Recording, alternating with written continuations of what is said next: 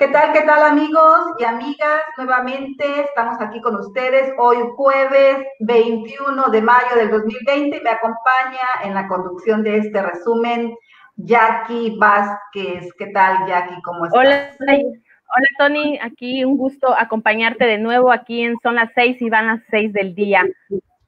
Pues vámonos rápido, Jackie. Que tenga feliz tarde, se está comiendo provecho.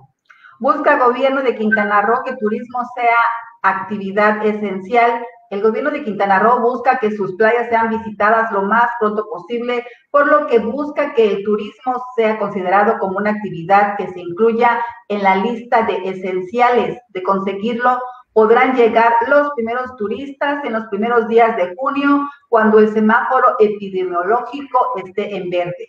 El gobernador Carlos Joaquín González adelantó que desde el primero de junio cuando inicie el plan federal hacia la nueva normalidad, la industria hotelera podría regresar a las actividades de preparación rumbo a la, recepción de los primeros visitantes. Indicó que es fundamental que podamos regresar de manera gradual al turismo como una actividad esencial que el sector turístico nos va a dar seguramente la generación de empleos que tanto se necesita, más no, más no va a dar la posibilidad de una recuperación económica, así lo expresó en sus redes sociales. Así que, Jackie, pues estamos esperando con ansia esa reactivación y que, pues, que el turismo sea una actividad esencial para que, se, para que podamos iniciar el primero de junio como todo el mundo quiere, aunque con ciertas medidas de restricción, ya que se calcula que durante esta contingencia obligada por la emergencia sanitaria se han perdido más de 80 mil empleos en la entidad.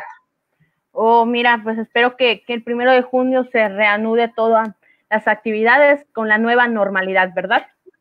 Así es, también por último, ya más comentarte que ya el gobernador había dicho que todo podría eh, estar ya de acuerdo para la reactivación turística y recibir los primeros visitantes entre el 8 y 10 de junio. Pues vamos a esperar que llegue la fecha para ver cómo se inicia esta actividad.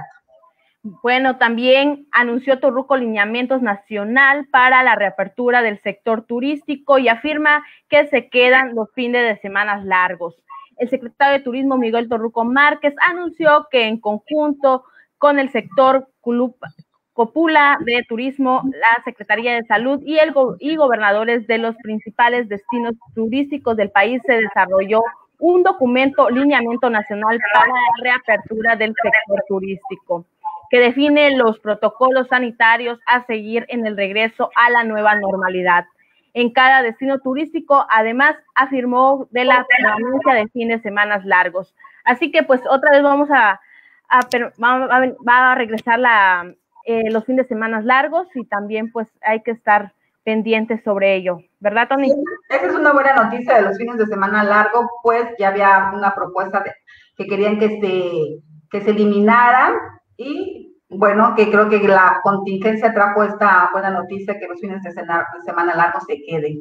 Pues vamos a esperar como siempre eh, que llegue el, el plazo para que todos los lineamientos nacionales para la reapertura del sector turístico sean de acuerdo a lo que se está planeando por el gobierno federal.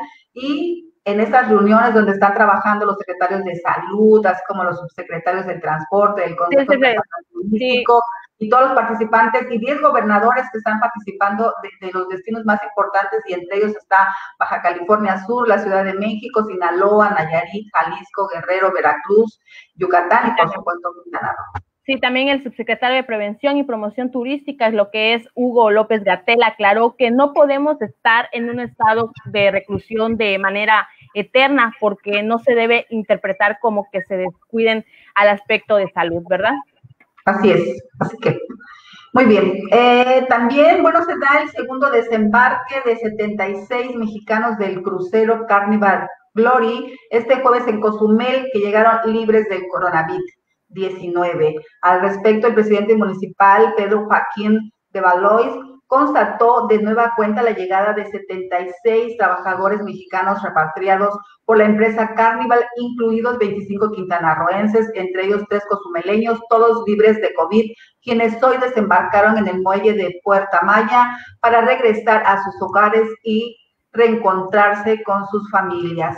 Esta es la segunda ocasión, dijo el presidente, que se cumple estrictamente los protocolos de seguridad sanitaria, atendido la solicitud de un puente humanitario para que los connacionales que se quedaron sin trabajo en el extranjero a consecuencia de la crisis generada por el coronavirus puedan reunirse nuevamente con sus familias sin que ello represente un riesgo para la salud. Así que esta es la segunda ocasión. Recientemente fue el primer desembarque, también donde había quintanarroenses, y hoy en esta ocasión eh, este segundo desembarque de personas que son repatriados aquí a Quintana Roo.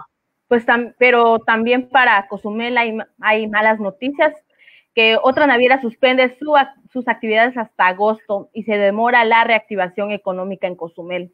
La reactivación económica en Cozumel deberá esperar al menos hasta el mes de agosto porque otra naviera que llega a la isla anunció que aplazó la fecha de regreso a las actividades hasta el mes de agosto, ¿no? Se trata también de Royal Caribbean, que este miércoles anunció oficialmente, Caribbean anunció oficialmente que debido a la contingencia mundial de salud por el COVID-19 decidió extender la suspensión de actividades hasta el 31 de julio de 2020. Así que pues nosotros ahorita el primero de junio, pero imagínate Cozumel hasta casi agosto y eso sí es que en agosto se reanuda todas las actividades con normalidad.